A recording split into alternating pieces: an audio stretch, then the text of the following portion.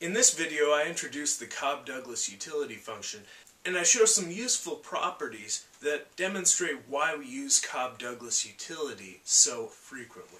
Here's a Cobb-Douglas utility function. It takes bundles of x and y. It uh, takes x to the alpha power.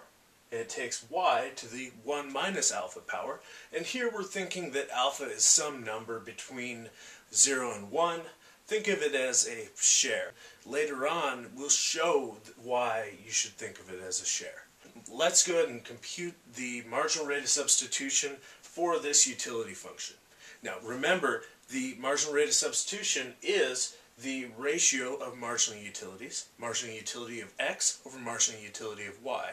The marginal utility of x is the derivative of this utility function with respect to x. We can just use the power rule. Think of y 1 minus alpha as a constant. Alpha times x to the alpha minus 1, that's the power rule part, and then just bring the y part around, along for the ride. If we take the exponent to the negative power, we can put the x in the denominator. And now we can go ahead and combine the terms. Similarly, we could take the marginal utility of y. That's just the partial derivative of the Cobb-Douglas utility function with respect to y. Using the power rule on the y part, thinking of the x to the alpha as a constant. We can go ahead and collect some terms here. x to the alpha, y to the minus alpha, bring the y to the denominator. And there's our marginal utility of y. Now one thing that you can do, and it's going to be kind of useful to do this, we could, uh, we could take the reciprocal of the inside of this marginal utility of y, and we can make it then to the negative alpha power. Now we're ready to compute marginal rate of substitution, which is marginal utility of x over marginal utility of y. Now what you'll notice is that we've got in the denominator a y over x to the minus alpha power. We want to bring that up to the numerator. We can just make it to the positive alpha power, keep it as y over x. I'm going to bring these coefficients out front. Here's the numerator y over x, that's to the 1 minus alpha power.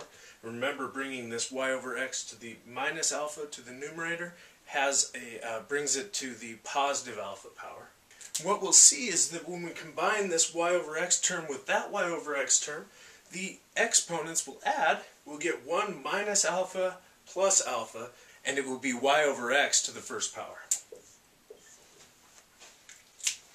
So here we have it. We have a, an expression for the Cobb-Douglas marginal rate of substitution. So we can go and clean this up a little bit. But one thing to note about this expression for marginal rate of substitution is that it's constant for a given ray out of the origin. Um, so if we consider a, a straight line protruding from the origin, that straight line is going to give us a, uh, uh, a constant y over x ratio. And this tells us that along this straight line, all of the indifference curves that pass through this point have the same slope. So Cobb-Douglas utility looks like this, that along rays out of the origin, it looks like a parallel shift of the indifference curves. Now let's use this marginal rate of substitution expression and a little bit about what we know about consumer maximization of utility to get the Cobb-Douglas demand curve. The marginal rate of substitution equals the price ratio at the consumer optimum. Remember, it looks like this. The slope of the indifference curve is going to be tangent to the slope of the budget constraint. So what we see is that marginal rate of substitution equals the ratio of the prices, and that's that's got to be one thing that holds at the at the consumer optimum. The other thing that's got to that's got to be true is that the consumers the consumer's optimum bundle exhausts all of the income. That is that we're on the budget constraint. So this gives us two equations and two unknowns. The two unknowns are x and y, and once we solve for those, those will be our Cobb-Douglas demands.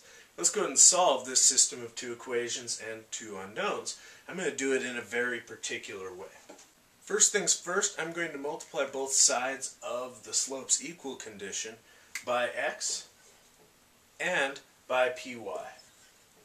Now once I get this expression, I can go ahead and think of px times x as just something I can substitute out of this second equation. Now what you'll see is on the left hand side here we've got py times y in both terms. we can factor that out. Let's get a common denominator in this, uh, in this expression here that's multiplying py times y.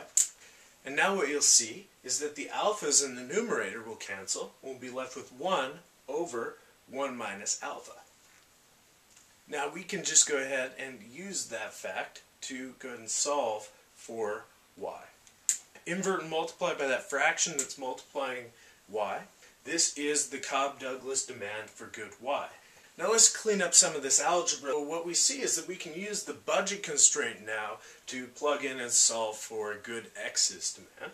So let's go ahead and do that. Plug the demand for good y back into the budget constraint and we can solve for x. So now what we see is we plug in the demand for y and in the demand for y we get a cancellation uh, with the py that's multiplying it we bring this term over to the right hand side. And so once you bring this term over to the right hand side, uh, and you can look at the coefficients here, this 1 will cancel with the implicit 1 in front of i, and we'll be left with alpha i on the right hand side.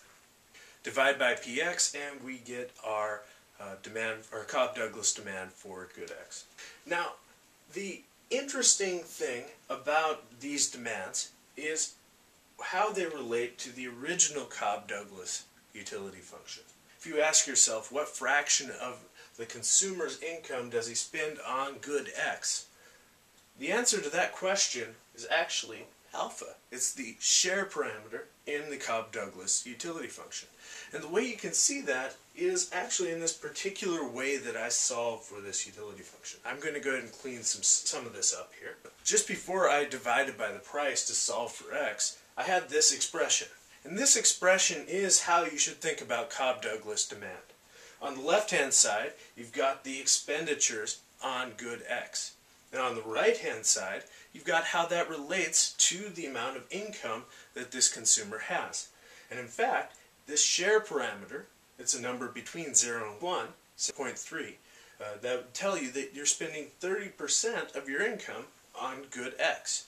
And it doesn't matter what the price is, that that's in, in the Cobb-Douglas utility function, that's the way that it just works out mathematically. And so a useful trick if you want to, uh, if you're given a Cobb-Douglas utility function, you can forego all of this math, or at least you know what the answer is right off the bat.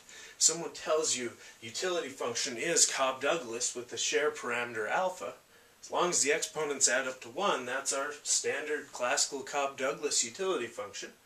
And because the exponents add up to 1, you know that, that that alpha means that it is the share of income that this consumer uh, spends on that, that good. For, for good y, this holds as well.